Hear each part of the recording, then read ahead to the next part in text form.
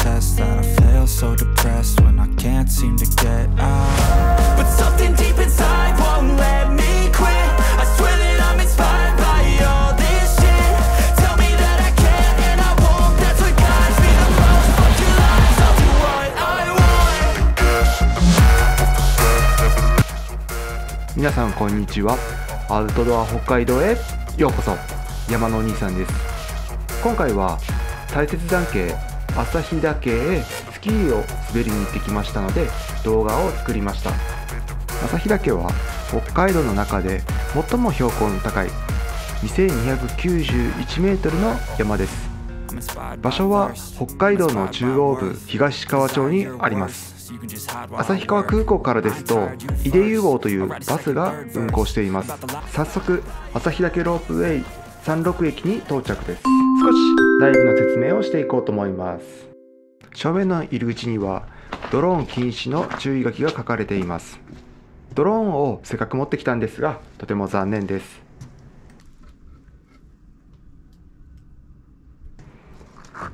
さらに室内へ入っていくと入り口入って右手には階段があります。この階段一段一段に各国の言葉で「ようこそ旭岳へ」と書いております。現在はコロナ禍で外国の人の姿は見えませんが例年海外からの客が多かったことを表しています。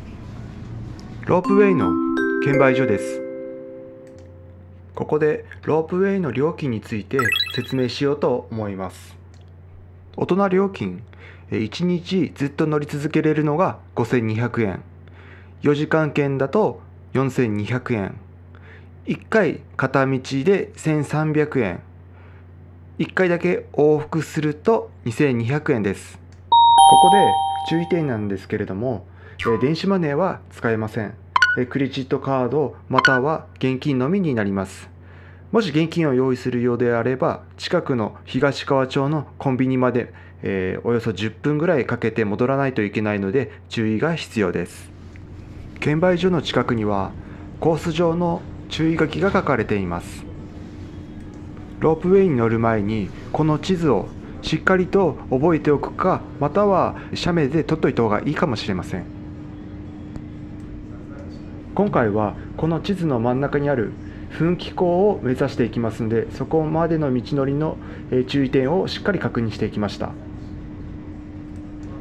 上には文章で詳細な注意点について書かれています。この文章を見やすく作りましたので確認します。大きく分けてこの3点のことについて書かれています。まずは装備の確認。スマホモバイルバッテリービーコンゾーンでスコップそして食料。2つ目ですけれども緊急時の連絡先。迷ったり怪我動けなくなった場合は山岳遭難です。直ちに110番をして警察に連絡するようにしてください。3つ目は全ては危険予測が大切であることが書かれています。山での活動は常に状況が変わりますので事前情報からしっかり把握して変わっていく変化に対応していかなければなりません。この日の天気は曇りで気温マイナス2度風速は少し強め、えー毎秒8メートルの風が吹いているんですけれども視界は良好でした。ロープウェイの中には他のお客さんもいましたのでえー今回は迷惑なので撮影は控えました。ロープウェイから降りた直後の様子です。降り場には休憩室も設けられていてこの休憩室の中は暖かいです。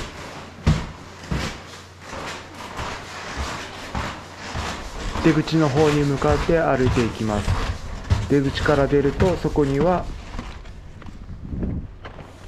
え広大な景色の旭岳が見えています。え早速ですねスキー履いて噴気口の方へ向かっていきます。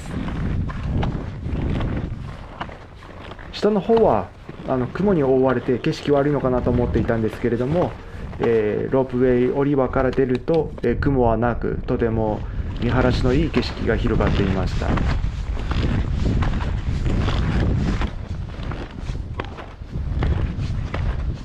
愛の鐘が見えてきました。山岳遭難で失われた尊い命を慰めるために有志によって作られたそうです。夏場観光地で有名な姿見の池に到着です。現在は分厚い雪の下に姿見の池が隠れていて見えません。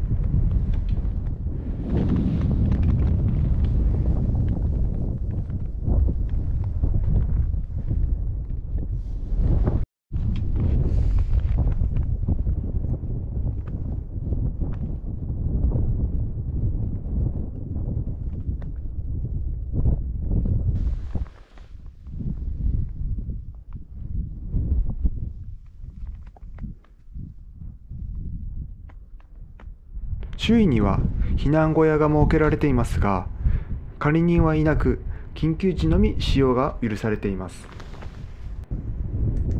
この撮影日の数日前に遭難者が出たようでこの小屋を使ったとのことです。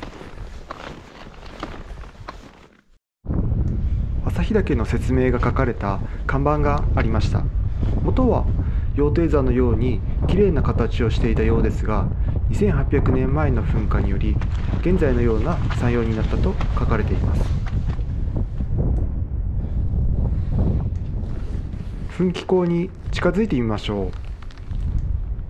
夏場は雪が積もっていませんので噴気口に近くまでは寄れません。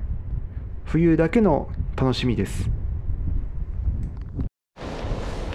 噴気口の近くまで近寄るとゴーという音でジェット機のような音を出しながら、えー、噴煙を上げています。近づきすぎると噴気口の中に落ちてしまいますので、えー、なるべく近づかないように見てみましょう。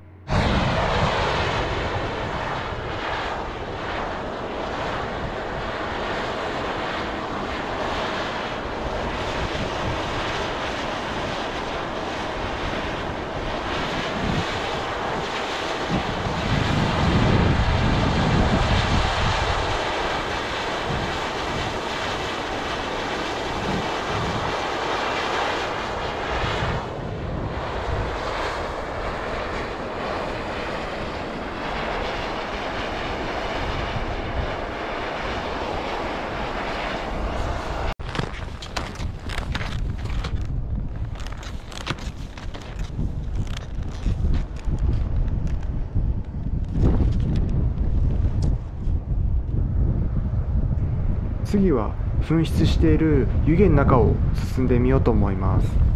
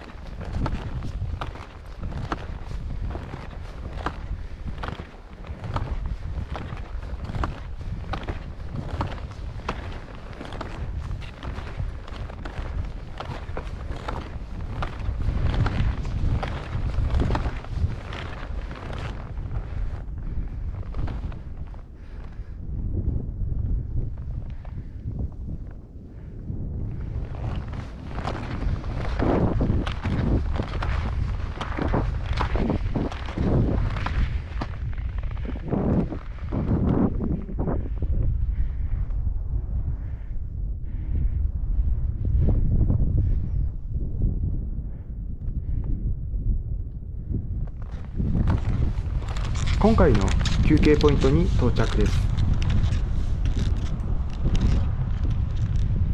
ここでお昼ご飯を食べてスキーを履いて滑って帰ろうと思います。